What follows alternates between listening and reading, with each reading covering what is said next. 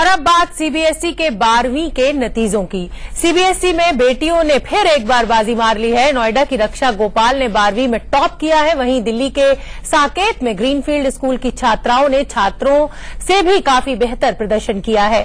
संजना सेजवाल ने पूरे स्कूल में सबसे ज़्यादा सत्तानवे परसेंट और लघिमा तिवारी ने छियानवे परसेंट तथा अनुष्का गोयल ने पिचानवे प्रतिशत नंबर लेकर स्कूल का नाम रोशन किया है। इनके इस प्रदर्शन से इनका परिवार ही नहीं पूरे स्कूल ने खुशी मनाई और मिठाइयाँ भी बांटी गई। मैं रोज तीन चार घंटे पढ़ती थी। मैं कोई भी चीज़ ज़्यादा करने की कोशिश नहीं करती थी, जितना हो सके उतना पढ़ने की कोशिश करती थी। और कंटिन्यूस करना बहुत इंपॉर्टेंट है, क्योंकि अगर आप बीच में ब्रेक लेते हैं या छोड़ देते हैं then you tend to forget whatever you have learn so continuous and making notes is very important इस बुलेटिन में फ़िलहाल मेरे साथ इतना ही। आप देखते रहिए इंडिया न्यूज़, खबरों का सिलसिला लगातार।